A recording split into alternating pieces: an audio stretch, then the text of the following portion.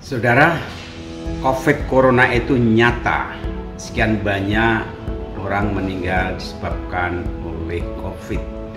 Walaupun kita yakin bahwa kematian itu sudah merupakan ketentuan Allah. Namun kita mesti berusaha menghindarinya.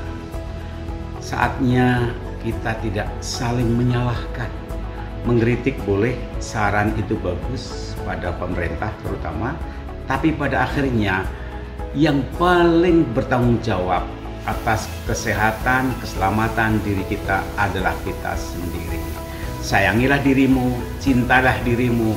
Mari kita kerjasama untuk menjaga, menciptakan kesehatan dan berhentilah untuk saling menghujat dan menyalahkan. Kita dalam suasana perang menghadapi COVID.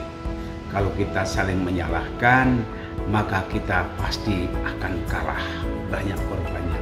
Mari kita menjaga kesehatan, senantiasa berdoa, bermohon perlindungan pada Allah. Kita yakin mati itu takdir Tuhan, tapi kewajiban kita menjaga kesehatan.